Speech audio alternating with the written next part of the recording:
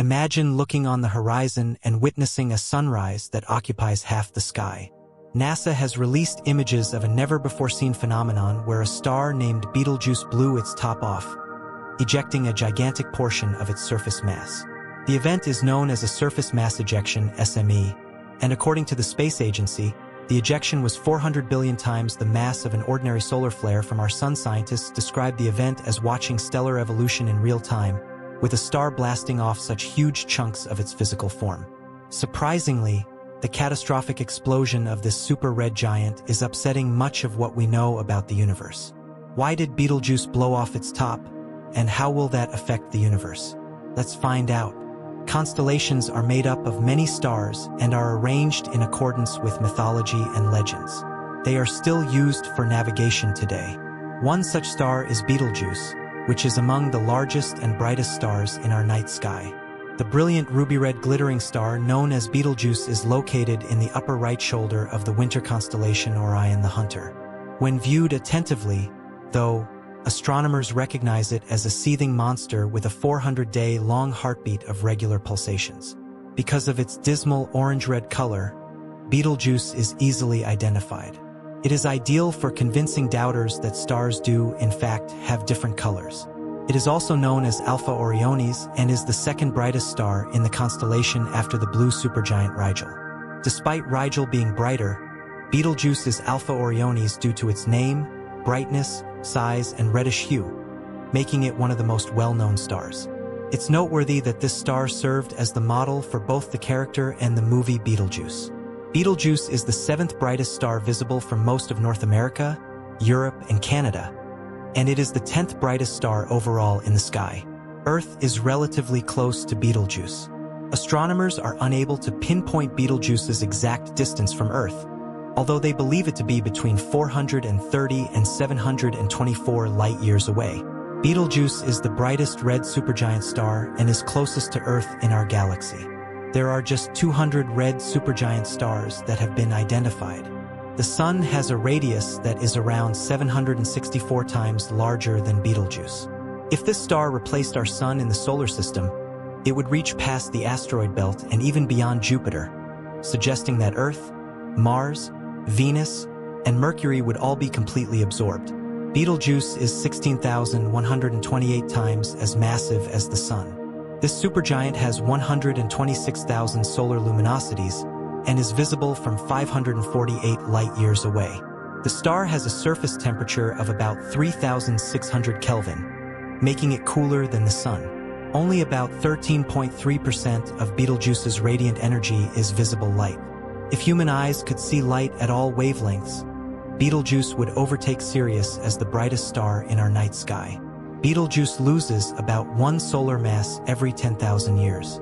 The red star is surrounded by a nebula because this material is being ejected unevenly from the star in all directions. A cloud of material 250 times larger than the star surrounds Betelgeuse. The size of this nebula is also thought to be 30 astronomical units, or 30 times the solar distance between the Sun and Neptune, the furthest planet in the solar system. Our solar system's sun regularly ejects mass into space, known as solar flares. However, the sun only exhales tiny fragments of its outer atmosphere known as the corona, giving the phenomenon the name coronal mass ejection, CME. As a result, coronal mass ejections and surface mass ejections can occur at separate times. When a star ejects a portion of its unstable outer atmosphere, it causes a CME known as the corona CME. Coronal mass ejections from our solar system occur very frequently and can impact Earth and its inhabitants. CMEs can travel more than 1,800 meters per second while ejecting magnetic fields and plasma into space, occasionally arriving on Earth in a matter of hours. A CME can disrupt and harm Earth satellites and power infrastructures when it occurs on the side of the sun that faces the planet, and it occasionally puts astronauts in orbit in danger. The recent discovery shed light on the exceptional cause of Betelgeuse's event. In 2019, the material that the star ejected exploded into space, cooled, and produced a cloud of cosmic dust that hid Betelgeuse's brightness from Earth-based observers. Additionally, Betelgeuse's renowned steady pulsing pattern has been altered, The CME on Betelgeuse is unusual because it released 400 billion times more mass than a typical CME, which caused the star to tremble like a dish of gelatin desserts, according to a NASA news release. According to Andrea Dupree, an astronomer at the Center for Astrophysics, the star's internal convection cells may be in disorder while the photosphere, which is what we perceive as the star's surface, struggles to reconstruct itself.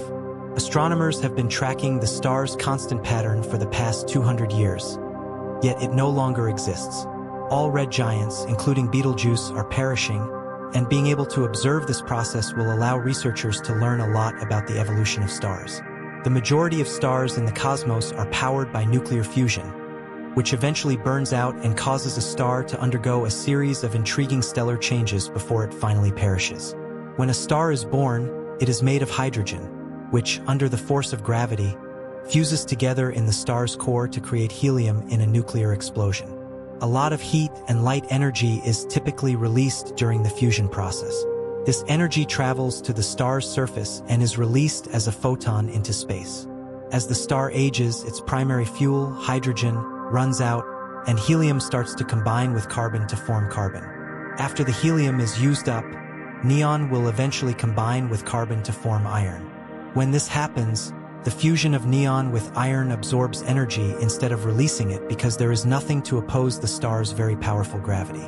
When iron begins to fuse, the star collapses in on itself, giving rise to a supernova explosion. A supernova, one of nature's most powerful forces, can generate more energy than 10 billion suns. Stars change hue during the course of their existence from the youngest hottest blue forms to the older cooler red varieties, depending on what stage of their stellar evolution they have reached. The Greek scientist Thymachères in 168 AD strangely referred to Betelgeuse's color as having a ruddy hue. Three centuries earlier, Chinese astronomers had characterized the star as having a yellow appearance, possibly implying that Betelgeuse was formerly a yellow supergiant. Astronomers may gain a better understanding of how red stars lose mass in their last days before exploding in a bright supernova from Betelgeuse's explosion. As one astronomer noted, we've never seen a huge mass ejection on the surface of a star before. We are left with something going on that we don't completely understand. It's a totally new phenomenon that we can observe directly and resolve surface details with Hubble. We're witnessing stellar evolution in real time. However, it's unclear whether this development portends Betelgeuse's impending supernova explosion. Because the results are so unusual, NASA issues a warning that Betelgeuse may not have reached the end of its life, even if it is nearing the end. Cosmic time is long, and red supergiants die quickly by comparison. According to NASA, Betelgeuse will explode in the next 100,000 years. Betelgeuse has been the focus of intense study since the 1st century BC. More recently, a scientist by the name of Serena Nance and her team sought to ascertain the potential timing of the supernova explosions of red supergiants like Betelgeuse to find out how a star that large would behave over time. Nance and her team ran multiple simulations using Betelgeuse as a model and then contrasted their findings with field observations. Why did Betelgeuse diminish suddenly and out of sync with its regular cycle when it won't likely explode for another 100,000 years?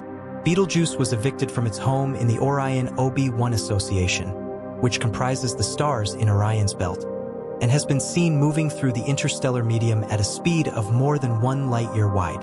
By mid-February 2020, Betelgeuse had lost about three times as much brightness, from magnitude 0.5 to magnitude 1.7, after beginning to decline sharply in October 2019. By February 17, 2020, Betelgeuse's brightness had been stable for almost 10 days and the star had started to brighten once more. However, Betelgeuse appeared to have stopped dimming completely five days later, effectively ending the dimming episode. Given that there were no significant changes in the infrared on February 24, 2020, it appeared that the recent visual fading was unrelated to the anticipated core collapse. Another study concluded that the star's dimming was most likely caused by a cloud of large-grain circumstellar dust. Dust absorption is ruled out from having a significant effect in a study that uses measurements at submillimeter wavelengths, but the fading appears to be caused by large star spots. Further analysis showed a dramatic rise in Betelgeuse's brightness between May and August. Betelgeuse is so close to the Sun that it is almost impossible to see from Earth before 2020 when Betelgeuse will be in conjunction with the Sun. It was plus 0.4 for brilliance. According to observations made with the Stereo-A satellite in June and July of 2020, the star had faded by 0.5 since its previous ground-based observation in April. Everyone was surprised by this because the maximum and subsequent minimum were expected to occur in August-September 2020 and around April 2021, respectively. Betelgeuse's brilliance was known to shift widely, making predictions difficult. The fading seems to indicate that a second dimming event may occur much sooner than expected. The finding of a second dust cloud coming from Betelgeuse, which was linked in June 2020, suggested that a cool patch on its photosphere might be the cause of the dust. In August, a second independent investigation confirmed the initial hypothesis. The dust is thought to have been created by the gas that the star had spilled. According to studies done in 2022 using the Hubble Space Telescope, a cloud of dust may have been created by a surface mass ejection. The material was ejected from the star's surface millions of kilometers away, where it cooled, compacted, and formed the star's fading dust. The broken photosphere, which was roughly several times as heavy as our moon, went off into space, cooled, and created a dust cloud that covered the star from the perspective of watchers on Earth. The fading, which began in late 2019 and continued for a few months, was plainly discernible even by backyard observers who observed the star's brightness change. Even more remarkable, the 400-day pulsation rate of the supergiant has vanished. Since around 200 years ago, astronomers have been tracking this cycle by analyzing changes in Betelgeuse's surface motions and brightness variations. Its disturbance reveals the extent of the blast. Astronomers have now developed a potential theory to account for the disruption.